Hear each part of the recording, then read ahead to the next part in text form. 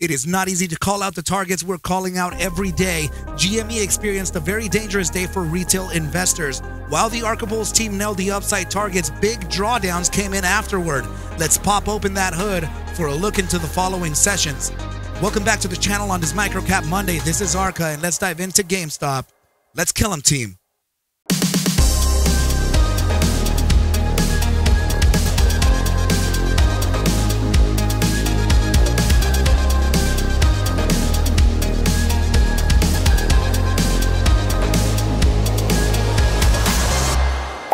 What is up, you guys, and welcome back to the channel. Please do me a favor and hit that like button, subscribe to the channel, make make sure the, uh, to do everything necessary to get this thing to live long, thrive, and survive. Right? So, stumbling upon stumbling upon the words there. Right? So let's go ahead and get this thing rolling, team. This is the hourly time frame for GME, where we were determining where our first target was going to land, right at that twenty-four dollar and fifty-two cent level, based on the breakout from this bullish falling wedge, right? We actually ended up breaking out right at that 75% mark of the, or to the apex of the triangle, right? Per the statistics, that's usually where you get the breakout from. We met that target to the upside, resisted from the EMA 200 on the hourly time frame, and completely pulled back to validate supports within the range that we've been talking about as a very strong area of demand.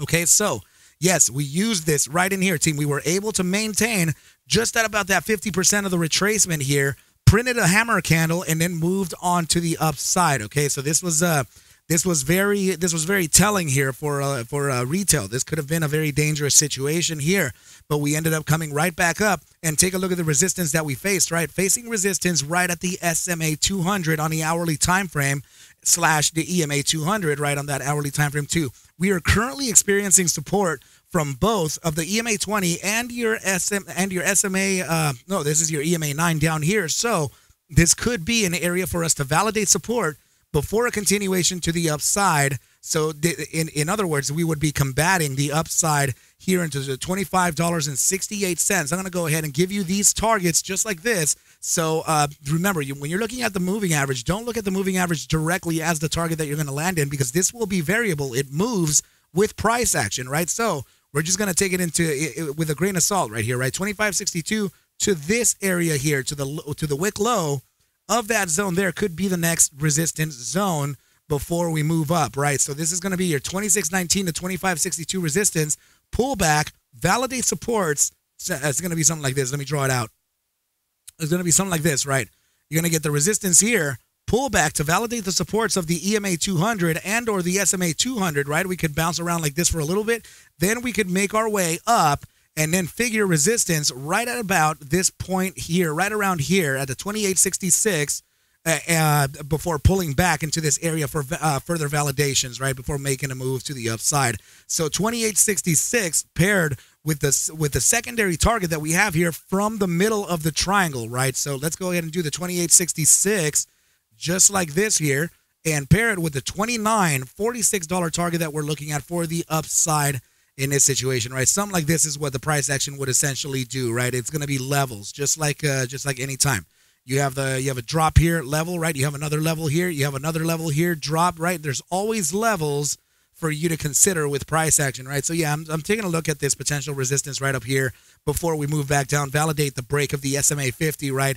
Get that SMA 50 validated and make a move to, towards the upside, uh, getting in touch with our secondary triangle formation target, right? So you're going to take the, the, the way we figured this target here, team, remember, is because your triangle consists of three take profit targets, right? One is going to be right from the right from the uh, breakout target, right? This is your first target, and that's telling you that we would reach a target of 24.52. We met it today, uh, very early in the day, and then this right here would be the secondary target taken from the center of the triangle, right? So this would be the 50% of of the triangle right in here.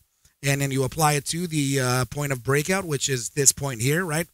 And that gives you 29.46. The next target would be the larger end of the triangle, right? From back here, we apply it to that same place of breakout right down here, right? And that gives us a target of about 38.19. So, guys, the reason we know this, the reason that why I know these targets and how we're able to reach them is because I am an instructor. So please get in touch with me at ArcMasters Course at gmail.com and I'll make sure to give you the syllabus and disclaimer to the to the now condensed 18 to 19 week mentorship program down to a four to five week crash course program. Make sure to get in touch with me at arcmasterscourse at gmail.com and I'll pass you all the relevant information for that.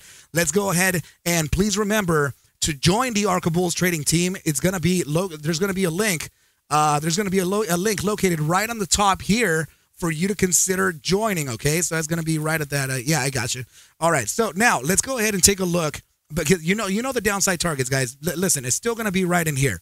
2018 to 1747, now with a lower probability of 1895. Okay, it's still there, but the inflection point in order for us to get down to those levels would be breaking this candle's low. That's going to be your 2188. An hourly closure beneath that 2188 would introduce the lower bound targets yet again.